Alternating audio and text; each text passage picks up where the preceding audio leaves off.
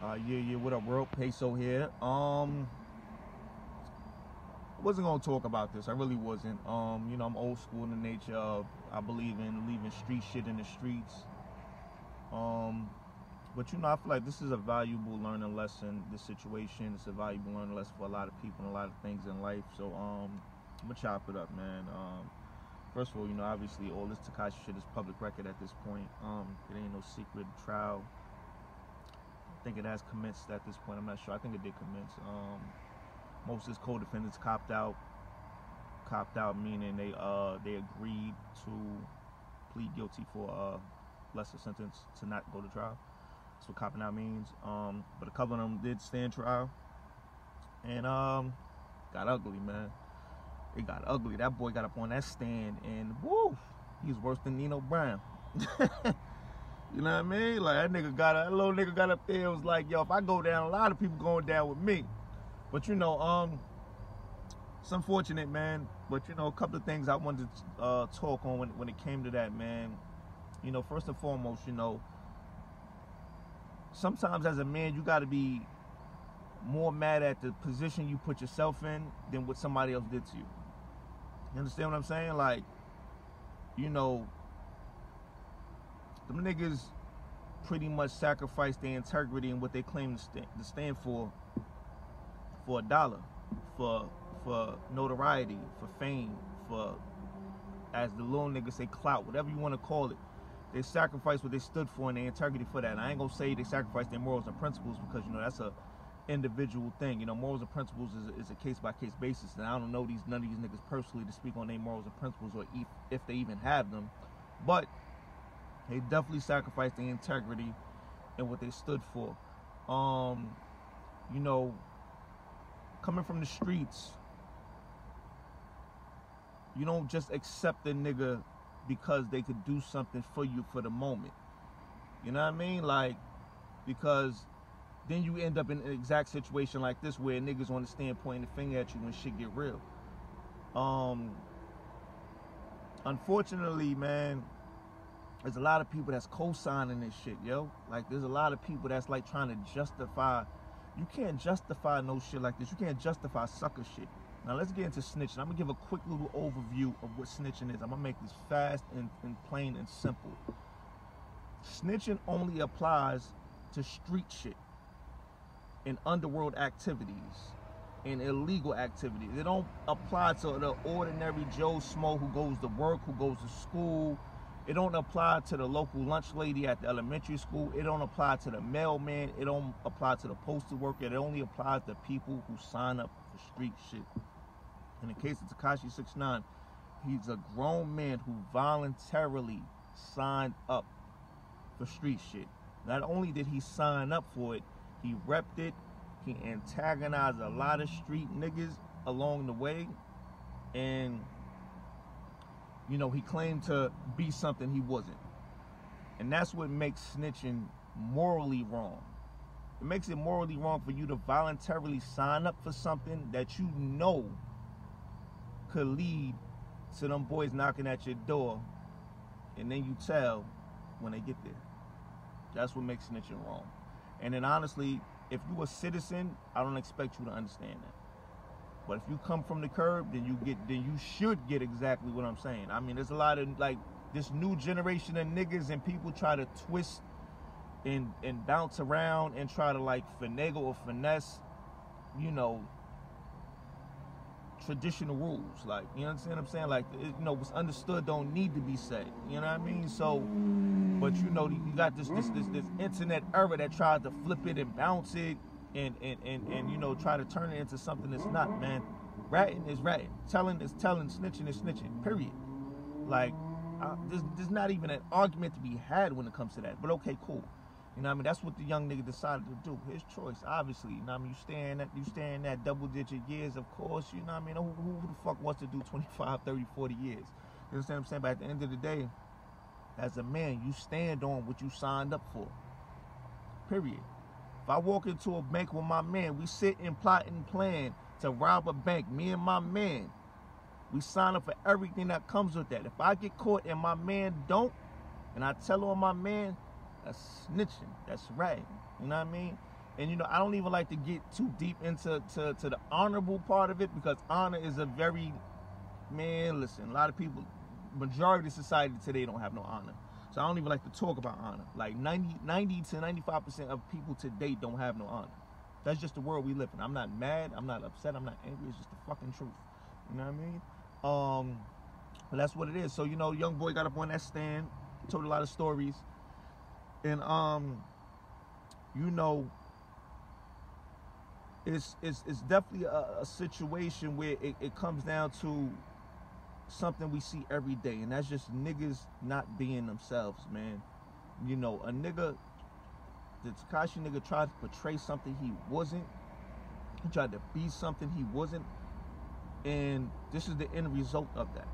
You know what I mean? And honestly, them niggas really got to blame themselves for even trying to co-sign that shit. You know what I mean? Because you can look at that nigga. And you know, you, you don't judge a book by uh, its cover. You don't know what a nigga capable of at the end of the day. Well, I mean, shit. From my experience and my all my years walking walking the curb out here, you could look at that nigga and tell he not half of what he trying to be. You can you could see it in his eyes. He not half of what he trying to be. But I get it. He had some solid niggas behind him that was willing to stamp it and co-sign it, so he ran with it. But at the end of the day, we saw what happened with that, man. Um, I'm not gonna lie thoroughly going through, you know, the court transcripts and all of the stuff that was put out there and, and um, you know, the, the wiretap evidence and all of that shit, a little bit of me, like, I'm, I'm not a conspiracy theorist at all. I'm far from it. But a little bit of me, like, sort of feels like this nigga was a federal agent the whole time. Because, you know, he didn't take down no Joe Schmo niggas. He took down the top of the top out there in Brooklyn, at least like these niggas have been under investigation for years. These this, this like this they they had been looking for something to stick on these niggas for years. And then the Tekashi nigga came along and gave them the concrete evidence they needed to put the niggas that they've been wanted away for a while. So that that part of me feels like, yo, this nigga might have been a fed the whole time, but the realistic side of me says that's not accurate because it's like you can't force the music. Like you, Tekashi's music was undeniable. Like you can't force that. Like the shit was hitting, niggas was fucking with it. I mean, you can't, you you you can't force billions and billions of views that this kid had. You can't. A federal agent can't put the talent into the nigga. A federal agent can't put three thousand people at a festival to, to, to jump around and cheer and go crazy for this nigga. So if it wasn't for the music side of it, like that's authentic. Like that can't be faked. Like you can't fake that. You can't fake the talent part. Like the kid is talented. You can't fake that. The, uh, the feds can't put that in you. So if it wasn't for that part of it, I truly believe that that nigga was a fed the whole time. But you know the music was undeniable. Niggas was fucking with it. Um, something I do want to clear up though. I don't feel like the city got behind it in terms of New York City. You know what I mean? Like outside looking in, it might seem that way, but the city definitely didn't get behind it. You know who got behind it in the town was the the wave riders. Those was the people that was really fucking with it. Like Gummo first came out, was I fucking with it? Yeah, it was dope, it was cool, it was it was ignorant, it was catchy, it was something the little niggas to sing along to. So I was like, yeah, this is definitely gonna go, this is gonna fly. You know what I mean? And it took off. But the Wave Riders really like got behind him and was like, yo, this is the guy and this blah blah blah. It wasn't the talent. Talent wasn't co-signing that nigga. You understand what I'm saying? It, every like certified nigga in the town really had one eye open when it came to that kid. Cause something always seemed fishy about him. It always seemed forced. It always seemed like a facade. Like it always seemed unreal. You know what I mean? So, you know, but the the wave riders who need them clicks and need them likes and, and want to be in the spotlight and want to be on the gram and take pictures and all that shit, them niggas was the niggas you seen that was really rocking with it. You know what I mean? Like it wasn't the town. Trust me, the town definitely wasn't behind that nigga. You know what I mean? So let's make that clear. Um, but you know, it was it was um it was definitely a learning lesson for something I've been saying for years now, and something I've been seeing for years now, and it comes to a very simple thing, man. Be yourself, yo. Like, look at that kid and understand what not being yourself gets you. You understand what I'm saying? Like that kid would have been much better off if he would have simply just did his raps, did his music, went into the studio, got on the verses, I mean, got on the beats and did his thing without all of the extra fake fraud shit. He didn't have to pick up them red rags and run around telling niggas to suck his dick and be in the streets antagonizing niggas and all. He didn't have to do none of that to do music. You understand what I'm saying? Like, be yourself, man. And that's honestly what's getting a lot of niggas hurt and killed out here in these streets now. Is niggas simply trying to be what they not.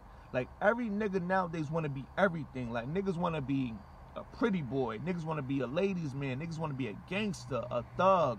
Niggas want to be a volunteer firefighter. Niggas want to be a legal aid. Like niggas want to be all of that all at the same time. Like dog, be you, man. Being you will get you a lot further and give you more peace in your life than being something you not ever will, man. That's what's getting niggas hurt. And you know what's causing the majority of snitching nowadays is niggas simply being something they're not. You understand what I'm saying? That's what's causing the majority of the telling out here because niggas, every nigga out here talk that G shit until them alphabet boys come knocking at your door. Then, then, then, yeah, then shit is real. And you ain't willing to do them 10, 15 years no more. You willing to say whatever you need to say to get about that cage. You understand what I'm saying? That's why snitching occurs from niggas simply being everything that they not. Like niggas is not half of what they claim to be. And this situation is a perfect example of that. That's the only reason why I'm even speaking on it because I feel like this was a valuable lesson for society, especially for the young youth coming up today to see. Look at Tekashi Six Nine, and that'll show you what not being you will get you. You understand what I'm saying? Real shit, man. And, and, and it's unfortunate for the for the families and, and the kids of, of, the, of the niggas involved because at the end of the day, they, they straight up got swindled. They straight up got swindled. You understand what I'm saying? They straight up thought this was a money play that was going to lead to something, and it and it didn't. You can't get behind fake shit and expect anything real. It's just not going to happen. You know what I mean? Like straight up and down. It's just not going to happen, man. And um, you know, I don't wish that type of situation on no nigga. I like to see street niggas winning. But you gotta play smart, man. You definitely gotta play smart. You can't be willing to sacrifice your integrity for a dollar. You can't be willing to sacrifice what you stand for for, for Instagram likes and, and, and YouTube views and all that shit. It, it's just not going to be conducive to anything positive at in the long run. When you think about that Tekashi run, it was short. That shit was only like eight months, maybe a year the most. And I'm talking about from the time like Gummo really took off, his run wasn't that long. Like, is eight months is an eight month run worth 15 years in jail? Like you really gotta think about that, man. Stop trying to get everything fast, man. That that that long hustle, man, it, it gets you way further ahead, man. Trust me, yo. And and being genuine and authentic will get you like being like seriously being who you are. Way more peaceful in life than anything or than the fake shit. Like the fake shit only looks good on these phones and on these apps. That's the only place the fake shit look good at on the concrete in the real world, that should have you out here losing sleep, man. So, um, you know, that's just my thoughts, man. I, I could go on and on about this situation because this is a situation I saw coming from from the gate. Like, I, if niggas would have asked me a year ago how this Tekashi shit was to end, I, I could have told you, cause you could have see, like, you could see where it was going. Like, you could look at it and be like, yeah, this ain't to end well for him or for them niggas involved. Like you firing off shots in a Barclays Center, nigga, you gonna have some people asking questions. Like, come on, man. Niggas gotta be smart, yo, because these, these, niggas is not playing. Them, dumb, dumb, them courtrooms is not playing with niggas no more. Niggas is seeing seeing double digit numbers off of off of bullshit. So you know, like I said, I don't want to keep rambling on, man. So um, learn from this for real for real. Learn from this man. Be you. That's my ultimate point in this vid. Be you. Be who you are. And um trust me man it'll be more conducive to just living a more a, a blissful life yo. Urban collection know I mean? Sweaters hoodies that fall coming is about to get chilly out here in these streets. Hit me up Kyle one at urban collection on instagram or just straight up dm me got a lot of things coming up staying too cosmopolitan and diva get you a bottle I got them on deck. Hit me if you want one. All flavors: melon, berry, plain, and strawberry mint. All right, so well, that's my two cents. Nobody asked for. Catch you on the next one.